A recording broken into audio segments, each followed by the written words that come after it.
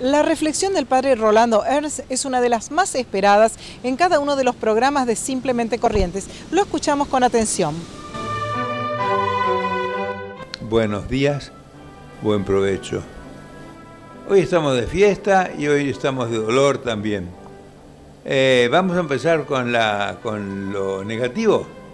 Bueno, les agradezco todo lo que han hecho, lo que rezan por mí, por mi pobre y desgraciada salud.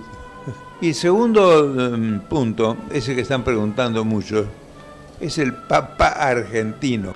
Habemus Papa. E cardinalem Bergoglio. Al segundo día del Qui cónclave. sibi nomen imposuit Franciscum. Sí, sí, porque cuando estudiábamos juntos, franciscanos y capuchinos, entonces, y, ¿cómo se llama? Franciscanos y jesuitas, entonces este, ahí se vincularon. Y les hizo llamar, le hizo tomar un retiro espiritual.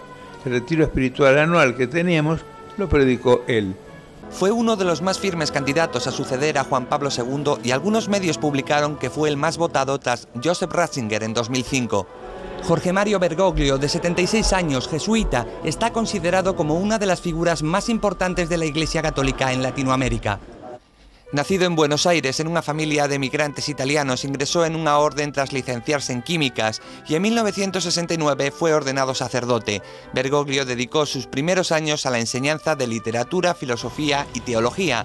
En 1998 se convirtió en arzobispo de Buenos Aires y cuatro años después en obispo.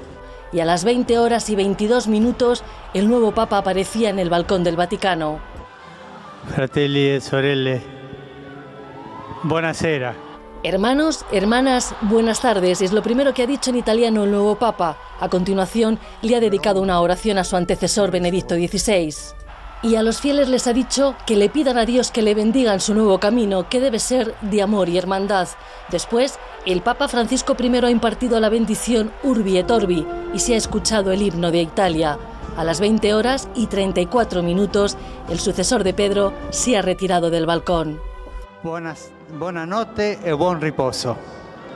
que sea jesuita, o que sea franciscano, o que sea dominico, o que del clero diocesano, no importa. Lo principal es que tenga cualidades, juzguen los cardenales, para ser papa. Y listo.